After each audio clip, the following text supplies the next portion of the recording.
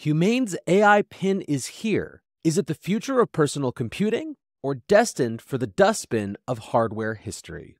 Welcome back to the AI Breakdown. Today we are talking about one of the most ambitious product launches in a very long time. And that, of course, is Humane's AI pin. As the New York Times summed it up, this is Silicon Valley's big, bold sci fi bet on the device that comes after the smartphone.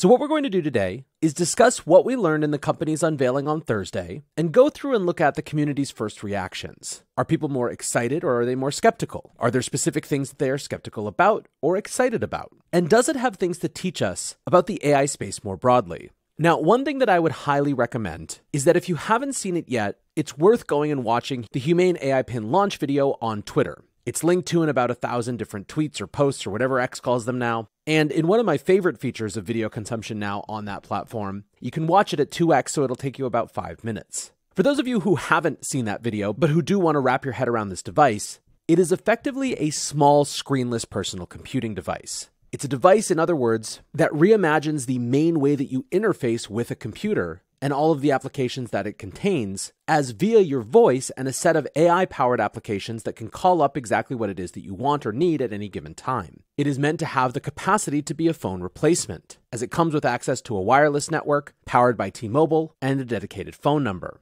Now, this is a product that has been long in the making. The team behind this, which includes a husband and wife duo that were both formerly at Apple, have been working on this for five years. Along the way, they've raised $240 million in funding, have secured 25 different patents, and have had, as the NYT puts it, a steady drumbeat of hype and partnerships with a list of top tech companies. Now, there is certainly a mission orientation to this. Many people who are on this team were involved with the first iPhones and have some specific sense that perhaps what they helped contribute to has not been net good for the world, that our phones have become too addictive or too problematic and that perhaps this is a way to get the benefits of that type of technology without some of the downsides. Now, this is hardly the most relevant detail, but in maybe the most Silicon Valley set of paragraphs I've ever read in a mainstream media publication, I just have to relate this part about how the company came to be. Discussing the founders, Imran Chaudhri and Bethany Bongiorno, the NYT writes They met at Apple in 2008. They worked together until they left Apple in late 2016. A Buddhist monk named Brother Spirit led them to Humane. Mr. Chaudhri and Ms. Bongiorno had developed concepts for two AI products a woman's health device and the pin. Brother Spirit, whom they met through their acupuncturist, recommended that they share the idea with his friend, Marc Benioff, the founder of Salesforce. Sitting beneath a palm tree on a cliff above the ocean at Marc Benioff's Hawaiian home in 2018, they explained both devices. This one, Mr. Benioff said, pointing to the AI pin as dolphins breach the surface below, is huge. It's going to be a massive company.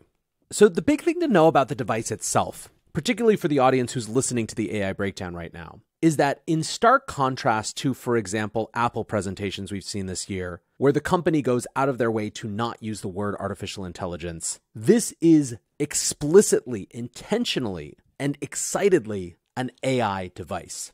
It is, in many ways, a first stab at a hardware paradigm for a world where instead of pointing and clicking at things we want and having to contort ourselves to the language of computers, Computers, via large language models and artificial intelligence more broadly, can now contort themselves to work in our natural language. That's why, of course, the AI pin is powered by the human voice, not by clicking. A significant number of experiences are shown off in the demo video that give a sense of how this new type of interaction might look.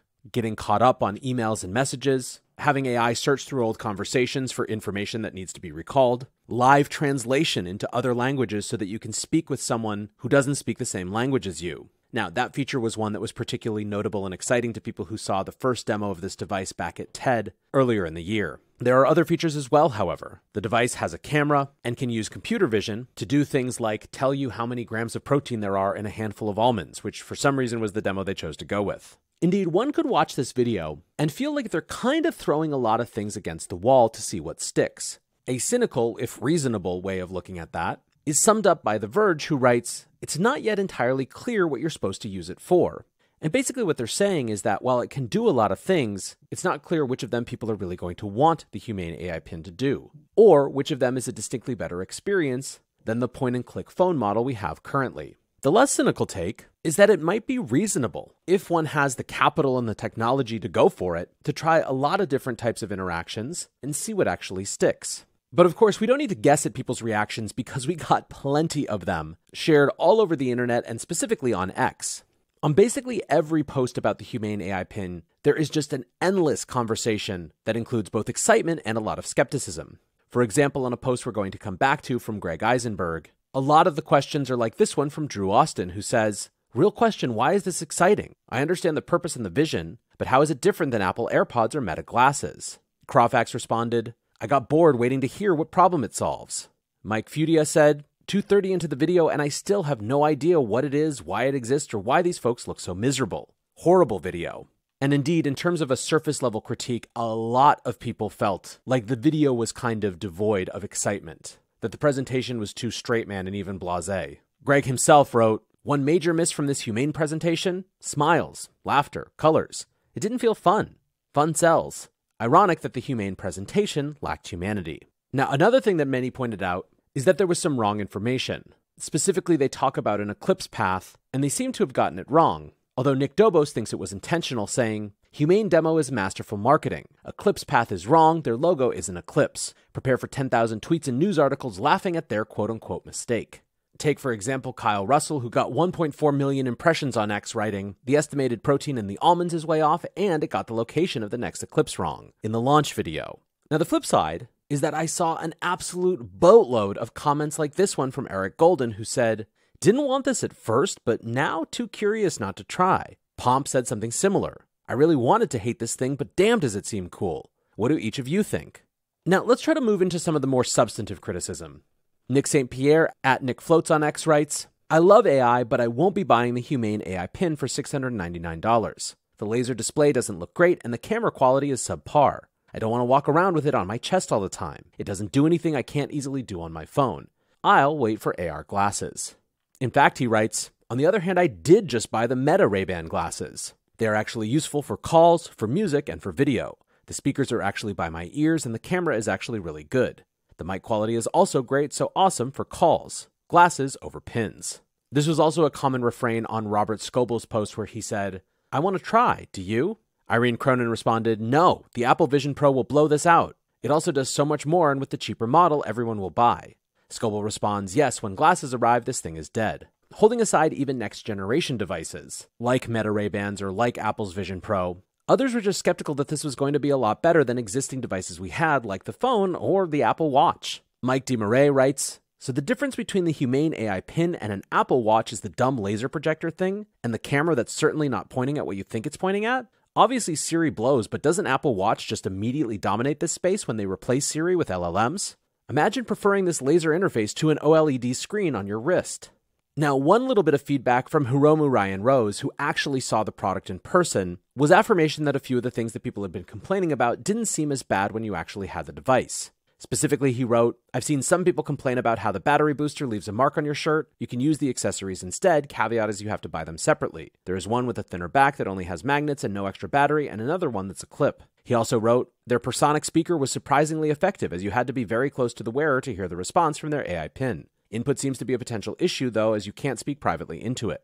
Now, one very humorous response came from Varunram Ganesh, who wrote Anyone who buys the Humane AI pin is actually saving money. $699 for the pin, $24 a month for the subscription, negative $2,000 a month since no one will want to meet you or invite you to any meetup or party. Good deal, to be honest. Now, investor Dave Lee also had slightly more comprehensive critiques. In a post he titled Quick First Impressions of Humane's AI Pin, he shared the seems like a worse version of the smartphone critique, but he also brought up issues like latency. He said, I doubt the quick audio response time in the video demo. I think it was edited, and I don't think it's realistic for them to promise that kind of instant response when they're sending requests to the cloud. In real life, the latency might make it very frustrating to use. He also talked about the idea that while having a camera always available for photos or videos is really cool, with this type of device, you would want it to actually be able to understand how to take interesting or relevant photos or videos, and that that would be extremely technologically complex. He sums up Sure, for text or chat based tasks, a device can connect to some LLM APIs in the cloud and get a reply. That's been largely solved.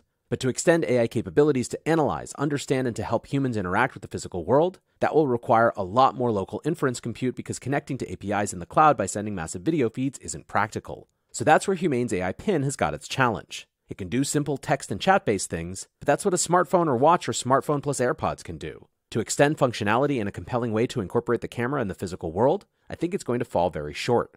There might be some limited use cases and maybe there will be some fans, but I don't think this is the next big thing. Avi Schiffman, who's building the AI wearable called the Tab, also weighed in on the form factor. He writes, Personally, I built prototypes of all wearable AI form factors, pins, clips, watches, earpieces, necklace, etc. Humane will have the following issues. Choosing daily where to place a pin results in decision fatigue, and it's frustrating to fiddle with multiple pieces when you constantly take clothes on and off. You wear it all day, so the battery weight needs to be comfortable. Pins and clips pull on your clothing. In their demo, you can even see it sagging Imran's heavyweight shirt. It has to look socially acceptable, so it must look like traditional accessories. But who wears a pin? While the design looks nice, it stands out too much. You wear it outside, so it needs to withstand the elements and be easily hidden, again making you fiddle with the attachments as soon as it starts raining. All in all, Humane severely breaks the Maya principle, which is often the main reason why breakthrough products fail. The Maya principle he shares a definition of that says, the Maya rule dictates that the ideal design sits in the middle between solutions that are entirely novel and those that are entirely familiar.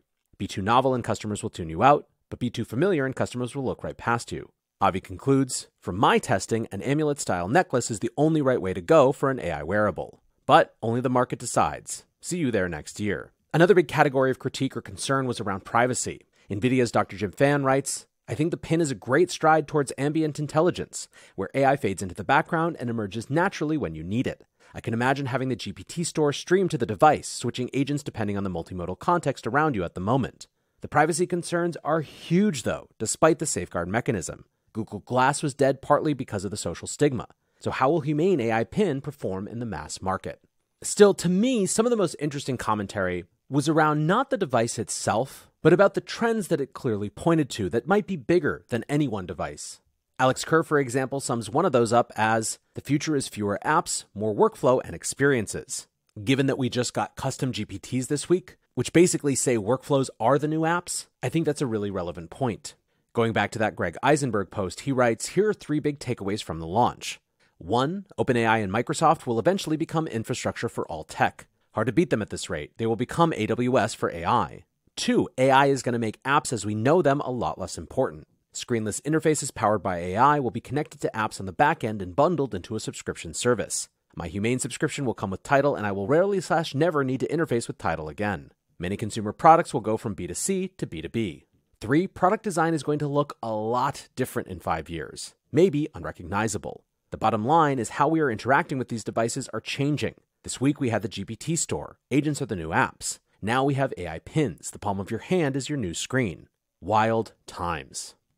Again, this is another vote in that column of the nature of apps changing, which is one that I absolutely think is true, even if the humane pin ain't it ultimately.